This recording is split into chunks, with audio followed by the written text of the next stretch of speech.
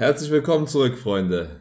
Vorletzter Spieltag der Fußball-Bundesliga. Kein gemeinsamer Spieltag mehr, wie wir schon seit einigen Jahren wissen. Sehr schade. Ich äh, muss sagen, gerade so, bei so einer spannenden Konstellation hätte ich gerne die Samstagkonferenz mit neun Spielen gehabt. Naja gut, gucken wir mal, wie es hier am Ende des Spieltags aussieht. Dann können wir es immerhin am letzten Spieltag noch ein bisschen mitverfolgen. Für Köln geht es ja auch noch immerhin mit einer ganz kleinen Chance um, um die Europa League, beziehungsweise um die Conference League. Und ähm, ja, für uns geht es um nichts mehr, aber wir wollen natürlich in Form bleiben, im Rhythmus bleiben, um das DFB-Pokalfinale gegen Gladbach zu gewinnen. Unsere 19 hat leider gegen Gladbach verloren im äh, Halbfinale der Juniorenmeisterschaft.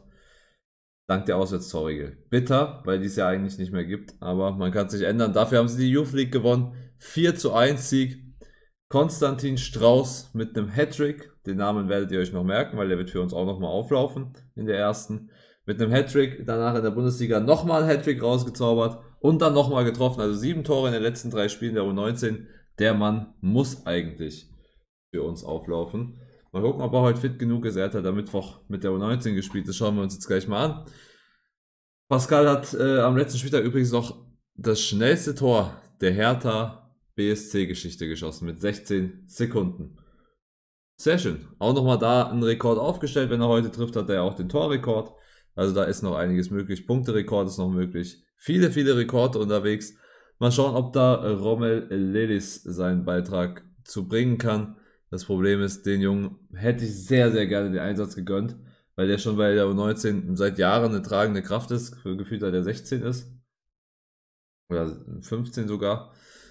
Ähm, ja, der hat jetzt die Knöchelbänder leider überdehnt beim Spiel in der zweiten Mannschaft. Fällt drei bis vier Wochen aus. Das heißt, vielleicht reicht es gegen Dortmund. Im Pokalfinale sehe ich ihn halt eher nicht. Aber gut, das schauen wir uns an, wenn es soweit ist. Und heute würde ich gern Konstantin Strauß sein Debüt geben. Wie sehr hoffen Sie heute auf eine gute Teamleistung? Sehr natürlich, Michael. Wie gesagt, wir wollen unsere kleine Siegesserie wieder fortsetzen. Und der Spielplan zuletzt war mir egal. Wir haben jetzt relativ entspannte Spiele zum Saisonende, muss man sagen, außer Dortmund. Köln geht in den 4-4-2 sehr defensiv ran. Viper vorne natürlich ein gefährlicher Mann. Der hat quasi das direkte Duell mit Pascal um die Torjägerkrone. Vorne drin beginnt tatsächlich der 16-jährige Konstantin Strauß, bekommt seinen ersten Einsatz. Hinten rechts Amey, hinten links Barco zurück in der Startaufstellung. Dann Gechter Akikum in der IV, Dardai, Curtis Jones auf der Doppel-6. Rooney rechts offensiv, Pascal eben auf der 10. Und Moreno über links. Also schon eine leichte Rotation drin im Spiel. Wir gucken mal, wie es läuft. Strauß versucht schon mal den ersten Pass zu erreichen. Der wird aber leider abgefangen von den Kölnern. Ilias Njonto. Und der hat Platz und darf einfach mal durchgehen. Annibal Gazibegovic, gut gehalten von Dennis Simon. Und dann stand Ilias im Abseits.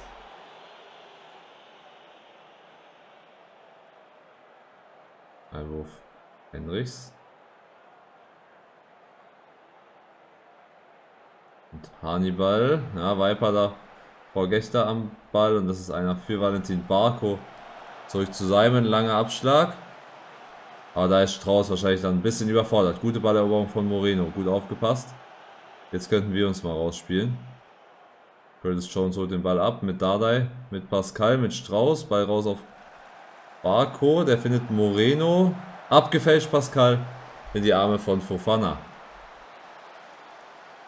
Strauß, ihr seht schon, ist nicht ganz fit. Trotzdem wollte ich ihm den Startelf-Einsatz geben. Dann wird der wahrscheinlich 50. 60. rum das Spielfeld verlassen. Vielleicht mit dem Tor schauen wir mal. Rooney, Dardai, Pascal. Ake, Kum, Dardai. Curtis Jones, klasse Chipball auf Rooney geblockt. Ich, ich, ich neige immer dazu, Wayne Rooney zu sagen, aber er heißt ja Rooney Barchi. So, langer Ball, Akikum kommt da angerauscht. Auch er hat, glaube ich, noch kein Saisontor, wenn ich mich da nicht ganz täusche. Also, wird mal Zeit heute vielleicht. Geht da was? Fragezeichen. Bisher ist das offensiv noch nicht so ganz überzeugend, was wir liefern. Wisdom Armee mit Pascal. Rooney, der verliert den Ball. Köln klärt, aber da hinten warten nur wir. Und bringen den quasi wieder in die Kölner Hälfte. Akikum, wir sind die Kraft verloren. Dada macht schnell über Rooney. Klasse passt, der braucht ihn auf links. Ne, rechts passt auf. Passt auch. Aber ein Kölner Fuß noch zwischen Dardai und dem Tor. Nächster Eckball Valentin Barco. Und wieder sehr lang, Akikum wieder dran. Aber auch wieder drüber.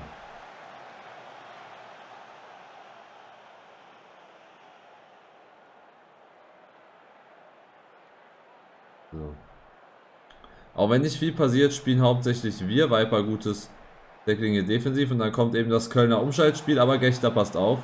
Und jetzt können wir es mal ganz schnell machen, ja. Scholz versucht es. Wäre es Inyaki gewesen, wäre er wahrscheinlich durch, aber Strauß kennt da natürlich noch nicht so ganz die Bewegungsabläufe in der Offensive. Ist ja auch kein Problem. Der Junge ist 16, der hat noch viel, viel vor sich. Da ist das Debüt. Erst der Anfang. Nagikum am May. Ball raus auf Rooney. Und Pascal fällt und es könnte der Elfmeter sein. Und was sagt der Schiedsrichter? Der gibt den. Und jetzt müssen wir ganz kurz was machen. Ausführer, Elfmeter. Boah, das ist riskant.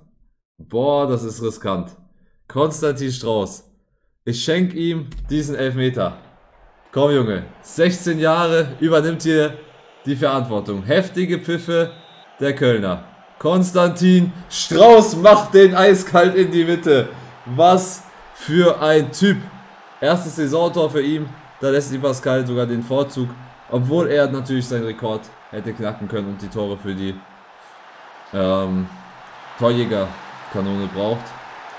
Aber er gönnt Konstantin diesen Elfmeter und er macht das Ding eiskalt. Sehr, sehr, sehr schön. Das sind Geschichten, die der Fußball und die eine intakte Mannschaft schreiben. Wunderschön.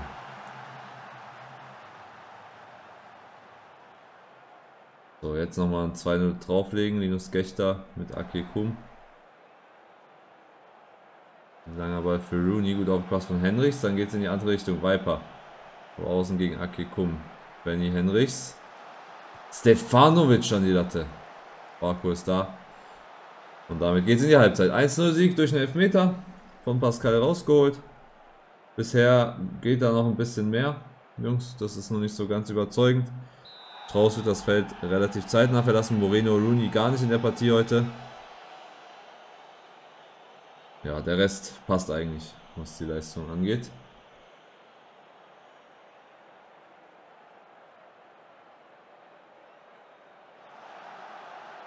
Ah, und da hat Stefanovic ein bisschen gepennt. Am May. Rooney schlecht rausgespielt. Njonto, gutes Tackling von Gechter. Ilias und Dennis Simon ist da. Ich denke, wir werden Rooney jetzt sogar rausholen. Das ist heute nicht seine Partie. Nochmal falsch ein Eckball von Valentin Barco. Der kommt lang wieder auf Akikum. Hinten lauert Moreno. Curtis Jones. Da er ja aus der Distanz. Was eine Fackel. Klasse Parade von Fofana. Valentin Barco, Fofana faustet weg. Moreno, Dardai. Aber dann die Kölner Defensive schon wieder geordnet, solange wie das hier dauert. Jetzt auch unser Wechsel vorne rein. Alejo Willis. Und über die rechte Seite kommt Ben Richards. Alexis Barrero will ich gerne einen Einsatz geben. Barco mit einer guten Freischussmöglichkeit. Fofana greift zu. Sehr gut gehalten. Valentin Barco. Einwurf mit Pascal. Der bringt den sogar Curtis Jones am May. Boah, schade. Ja, die Taktik gefällt mir nach wie vor. Hier hat sie wieder fast zum Tor geführt. Gechter Kerber raus auf Stefanovic. Ball abgefälscht. Akiku macht das super gegen Viper. Der hat den richtig im Griff heute. Von dem haben wir nicht wirklich was gesehen, außer einen defensiven Zweikampf, der für den Stürmer ganz beeindruckend war. Amey, Dada, Curtis Jones. Na, wieder ins Loch rein ist nicht optimal. Da müssen wir uns lösen. Amey. Akekum. Curtis Jones. Moreno. Jetzt könnte schnell gehen. Dardai steckt den durch für Willis. Knapp vorbei. Knapp daneben ist auch vorbei. Naja. so, weiter geht's. Alexis Barrero links für Diego Moreno. Ähm, da würde ich fast sogar, ja, lassen wir Pascal durchspielen. Hm. Ja, mehr müssen wir erstmal noch nicht wechseln. Wir lassen ihn noch ein bisschen im Spiel. Viper, gut aufgepasst von Akikum. Der hat den sowas von hundertprozentig im Griff, da passiert gar nichts. Amay Ball raus auf Ben Richards. Akikum. Dardai Jones. Willis Barrero. Rechter Dardai Pascal Willis. Ja, sieht gut aus. Ben Richards probiert es aber dann selber. Das äh, sah dann wieder nicht so gut aus. Fofana im Abschlag. Und da ist natürlich Joel Akekum. Pascal, gutes Tackling, holt sich den Ball zurück. Richter findet Dalai. Und Barco, schön die Linie lang. Alexis Barrero, zeigt was. Schwieriger Ball. Njonto, jetzt es mal schnell gehen. Ja, da ist Stefanovic durch, aber Akikum da. Der Ball trotzdem abgefälscht zu Wilfried. Njonto. Ah, bitter. Bitter, das heißt, jetzt brauchen wir doch noch mal ein bisschen mehr. Fordern die Jungs nochmal auf hier. Da, da, ja, Kikum. Boah, Njonto, heftiges Tackling. Willis, Barrero. Ball raus auf Ben Richards. Und der wieder auf Barrero. Ja. Jetzt denke ich, werden wir den, die letzten Wechsel nochmal nutzen. Einmal Jones raus, Fabian rein. Und dann vielleicht. Ja, Ben Richards rechts hinten für Armee. Und nochmal Maxi Bayer dann über die. Ne, Maxi über die linke Seite. Barrero über rechts. So, auf geht's. Jungs, wir müssen das Ding hier gewinnen. Holt euch diese eine Chance noch. Macht das Ding zu. Vielleicht über einen Eckball. Valentin Barco. Gucken. Und schon wieder ist er da. Und wieder kriegt er ihn nicht im Tor unter. Schade. Also die Ecken auf Joel sind perfekt. Aber es fehlt noch so ein bisschen das Glück im Abschluss. Dardai, Pascal, jetzt Willis durchsteckt ihn nochmal auf Bayer. Oh. Fast schon schlecht wieder gespielt, der Ball raus auf Bayer. Ein bisschen unnötig. Naja, wir gehen sehr offensiv. Ähm, Pascal kommt dazu als zweiter Stürmer. Wähle dafür dann als Stoßstürmer. Nee, warte mal. Also ja, aber wir müssen die Seiten tauschen. So. Ähm, sehr offensiv. Kreativ. Geordneten Spielaufbau gibt es nicht mehr. Das ist nur noch pure Attacke. So, 10 Minuten nochmal. Auf geht's, Jungs. Erkämpft euch hier was gegen Köln. Eckball, Valentin Barco. Geklärt, Maxi Bayer lauert da, Fofana. Gute Partie von ihm. Also der, den Namen hören wir heute sehr, sehr oft. Der hält viel fest bei Köln. Boah, Welis Klasse, Pass auf Bayer. Und da ist die Frage, war das abseits. Es könnte durchaus sein. Wir gucken mal rein. Daniel Schlager erkennt das abseits. Schade, das war wirklich ein Traumtor. Will ich hier aus der Drehung. Oh, war leider abseits. Vielleicht geht noch mal was. Feuer die Jungs noch mal an. Die Zeit ist nicht mehr. Was gibt's oben drauf? Vier Minuten. Das ja, doch, es gibt noch eine Möglichkeit. Nyonto spielt den kurz. Polly legt ihn ab für Viper. Nyonto Chipball, Fabian passt auf. So, Bayer. Er kann den nur klären. Dann so Kerber Wolf. Und das war wieder abseits. Diesmal auf der anderen Seite. So. Gibt es nochmal die eine Möglichkeit hier. Sieht nicht so aus. Fofana. Wir sind drüber. Wir spielen 1-1 in Köln. Damit Punktrekord können wir nicht mehr übertreffen. Schade. Ja. Nachdem Konstantin Strauß raus war, lief es nicht mehr. nee, war ein bisschen zu wenig heute. Naja, kann man nicht ändern. ähm, einfach abhaken. Saison ist eh durch, da ist auch immer ein bisschen schwieriger, die Jungs zu motivieren. Zumindest was die Liga angeht. Klar, Pokal, da müssen wir nochmal Vollgas geben. Aber in der Liga ist das so. Wir haben dort ein klasse Tor gemacht. Ähm, er hat auf jeden Fall gut gespielt. So, es bleibt weiter spannend in der Bundesliga. Was hat sich aber diese Woche getan? Wolfsburg gewinnt gegen Bremen das direkte Duell, macht es damit nochmal richtig, richtig spannend. Köln holt einen Punkt, ist aber so gut wie raus, muss man ganz ehrlich sagen. Ich glaube nicht mal, dass das von den Konstellationen her möglich wäre, dass die da noch weiterkommen. Von daher, das war es wahrscheinlich. Dann Eintracht Frankfurt mit dem 3-1 Sieg gegen Hamburg. Die sind sowieso auf einer kleinen Erfolgswelle hier. Ja, wobei sie haben gegen Hoffenheim verloren. Ja, okay.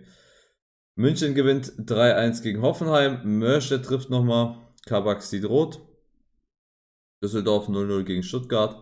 Freiburg gewinnt gegen Hannover, wichtiger Sieg für Freiburg. Und Leverkusen verliert gegen Dortmund. Ganz wichtig für Dortmund, ganz schlecht für Leverkusen. Mainz gewinnt nochmal gegen Pauli. Und Leipzig gewinnt gegen Gladbach. Das heißt, wir haben einmal, was die Liga angeht, noch ein richtig spannendes Rennen um Euroleague, um Conference League und natürlich auch um den Abstieg. Übrigens nur, dass ihr es einmal gehört habt, äh, Konstantin Strauß ist der jüngste Hertha-Torschütze aller Zeiten mit seinem Elfmeter. Ich wollte es nur erwähnen. Sehr geil, freut mich für ihn. Ich gehe mal kurz hier in die Ansicht, weil da haben wir den Überblick über alle Spiele. Das heißt, wobei, ne, können wir ja so auch machen. Ne? So ist sogar noch mal ein bisschen schöner. Also, wir haben welche geilen Duelle? Freiburg-Gladbach muss Freiburg gewinnen. Dortmund muss gegen uns gewinnen. Ähm, Köln, Mainz, ja, die sind eigentlich beide raus. Leverkusen gegen Frankfurt. Für Frankfurt ist die Champions League safe, für Leipzig übrigens auch. Das heißt, könnte sein, dass Leverkusen das gewinnt.